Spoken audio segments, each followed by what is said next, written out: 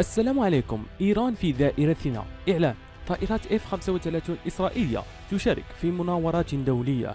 إذا لم تكن مشتركا في القناة فاشترك وإذا كنت من المشتركين لا تنسى الإعجاب بهذا الفيديو.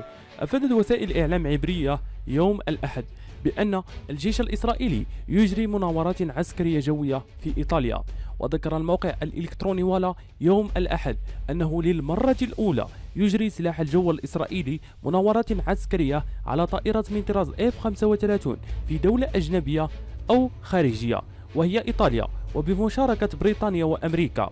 وأكد الموقع أن هذه المناورات العسكرية جزء من مناورات التاج الخامس بمشاركة كل من إسرائيل وإيطاليا وبريطانيا والولايات المتحدة الأمريكية للتدريب على البنية التحتية للناتو بهدف واحد يجري إعداده ضد إيران وجاء في التقرير الخاص بالموقع الإلكتروني بأن إيران في دائرتنا.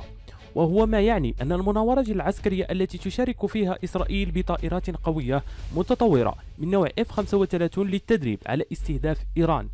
وبدأت المناورات التي تشارك فيها ست طائرات إسرائيلية من طراز F-35 تدريبات عسكرية اليوم الأحد ولعدة أيام أخرى حتى نهاية الأسبوع المقبل بدعوى التدريب في منطقة أو ساحة جوية غير مألوفة.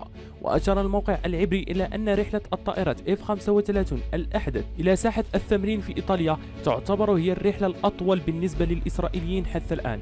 في الأخير إذا كنتم من المهتمين بهذه النوعية من الأخبار لا تنسوا الاشتراك لتتوصلوا بالجديد وشكرا.